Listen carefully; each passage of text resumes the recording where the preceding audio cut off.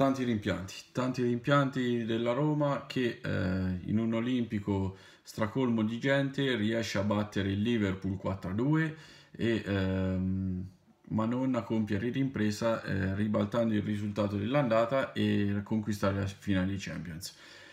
Eh, I rimpianti vanno soprattutto riferiti al risultato della partita di Anfield in cui i giallorossi hanno avuto 40 minuti di completo blackout e hanno subito 5 gol.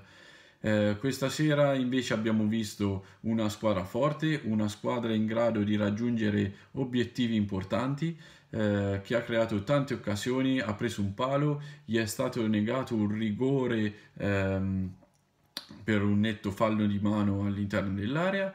Eh, eh, ha subito sì due gol eh, a causa di due sviste difensive che, ma che ci possono stare se eh, in una partita come quella di oggi eh, giochi eh, prettamente all'attacco, quindi ci possono stare. comunque la partita di oggi ha, ci ha dato modo di eh, vedere anche le lacune difensive del Liverpool che in parte erano già venute fuori negli ultimi 15 minuti eh, della partita di andata. E, eh, ma oggi hanno avuto più che conferma perché abbiamo visto come la Roma praticamente li bucavano da tutte le parti e Sharawi entrava, eh, Chic entrava, Dzeko eh, faceva dribbling in mezzo a tre persone, era diventata una cosa assurda, eh, cioè praticamente la difesa del, del Liverpool ehm, era più trafficata de, del raccordo anulare stesso all'ora di punta.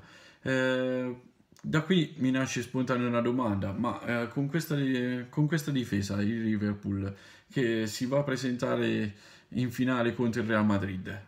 Eh, cosa spera di ottenere? Cioè, eh, Ronaldo e compagni avranno vita facile con la difesa del Liverpool e quali metodi può adottare Klopp per arginare eh, la squadra due volte consecutive campioni d'Europa? Beh, eh, scrivetelo nei commenti qui sotto, eh, iscrivetevi al canale, eh, mettete mi piace al video e da Calcio Champagne è tutto, cin cin a tutti!